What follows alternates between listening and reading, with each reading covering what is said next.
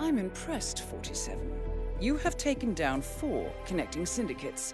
This is a major blow and a clear signal that no one is safe. So take some time off.